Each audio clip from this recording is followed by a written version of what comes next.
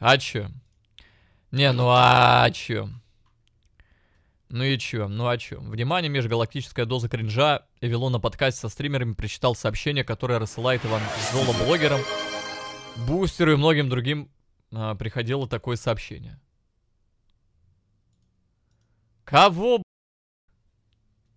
Спасибо! Ура, хайповоз! Аята Камасато, Камисату, спасибо. Спасибо, спасибо, спасибо. Спасибо за переподписочки, подписочки, писочки и так далее. Э, так. Внимание, межгал... Так, и что он тут писал? Что такое? Феникс, спасибо. Я на стримах Хесуса наоборот кукухой полетел. Правильно.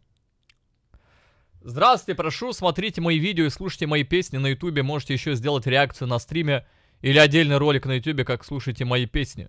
Стримеры, идите работайте, вы вообще никакой пользы не приносите, только рекламите ставки и казино, Twitch, Кик и YouTube уже скоро блокнут в России, ждите. Чепуха. Надо бы с Иваном Золо постримить и спросить с него. Типа, о, хрена ты вообще себе позволяешь? Тебе не кажется, ты за языком не следишь? Чепуха. Я Иван Золо, лайкер, тиктокер, твичер, будущий актер. Если твичер, ты в предыдущем сообщении говоришь, что стримеры э, бесполезные, чтобы они шли э, на работу и твич скоро заблокируют. В следующем сообщении ты говоришь, что... Писки подорожали. Twitch В смысле подписки подорожали? Где? В каком месте? Твичер, будущие актеры, муз-исполнители. В интернете вы должны про меня говорить и снимать только хорошее. А если будете, будет не так, я жалуюсь Екатерине Мизулиной. Она вас быстро, ус, быстро усмирит.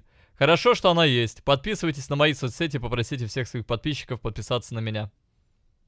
Иван Золот, ты.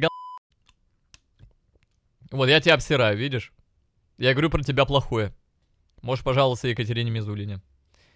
А, Да...